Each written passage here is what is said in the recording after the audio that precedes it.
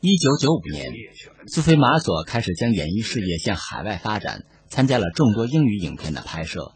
他的第一部英文片是这部由梅尔吉布森自导自演的古装史诗巨片《勇敢的心》，苏菲扮演美丽善良的法国王妃伊莎贝拉。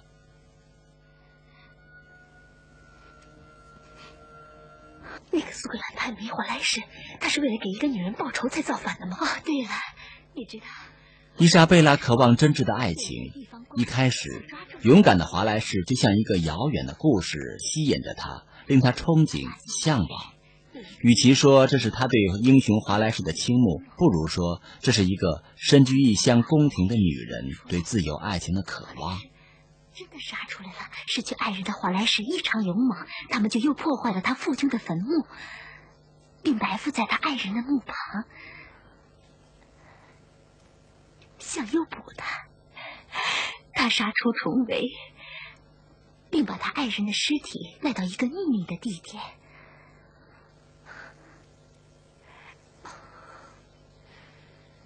这不就是爱吗？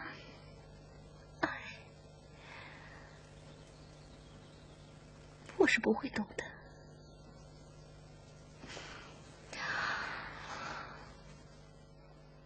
然而，初次见面。需要作为敌人而进行谈判，伊莎贝拉被华莱士所表现出来的真诚勇敢深深打动。这部电影是梅尔吉布森自导自演的作品。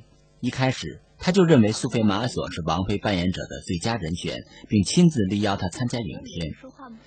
梅尔吉布森的选择是对的。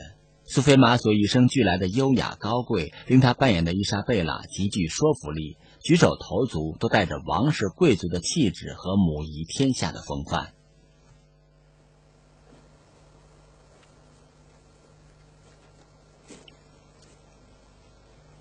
我听说你最近被封为爵士。我什么都没得到。上帝决定了人们的身份。难道上帝让你洗劫城市，杀害国王的侄子，我丈夫的堂兄？约克城是对我国历次入侵的集结地。这位国王的侄子吊死了很多无辜的苏格兰人，包括妇女和孩子。长腿上次侵占苏格兰城池时杀的惨多了。他是个冷血杀人狂，他在撒谎。别听他的，他说的不对，我从不撒谎。汉密尔顿。退下。